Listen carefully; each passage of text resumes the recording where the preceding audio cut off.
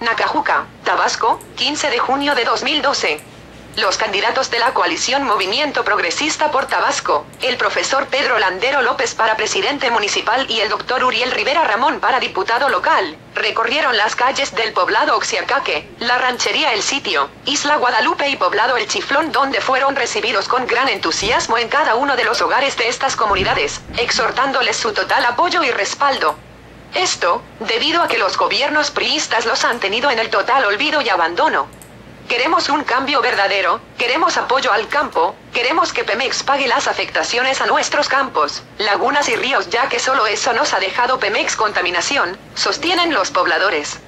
Las propuestas de campaña de los dos candidatos fueron bien recibidas por la población tales como el dragado de los ríos y construcción de bordos, mecanización del campo, dotación de semillas germinadas, créditos para el campo a tasas de interés cero o muy bajos, apoyo a la pesca, útiles escolares gratuitos para jardines, primaria y secundaria, pensión para adultos mayores, madre soltera y discapacitados, apertura de la radio Chontal, construcción de la nueva Plaza de las Artesanías, entre otras.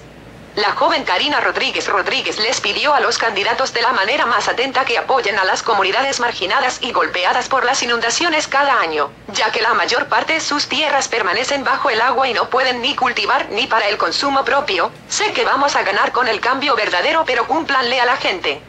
El señor Teófilo May comenta a los candidatos que él comenzó el movimiento con Andrés Manuel López Obrador. Soy un hombre de lucha que he participado en todos movimientos para que se logre el cambio y les pido que ustedes continúen con esta lucha que no la abandonen.